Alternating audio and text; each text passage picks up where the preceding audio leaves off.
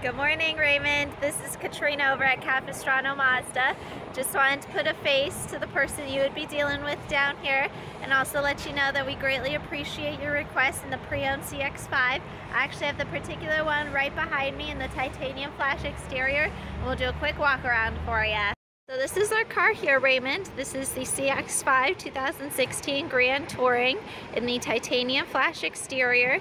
You do have the upgraded 19-inch alloy wheels that dark finish. We'll go around the car real quick, get a view of the back end for you, and then we'll hop on inside. So getting inside of the vehicle, you can see that we do have an all black matching leather interior here, the leather lapped sport seat. We have a lot of space in our back and all the seats individually fold down. They're spring loaded as well. You have the 7-inch touchscreen infotainment center, your dual zone AC along with your standard heated seats.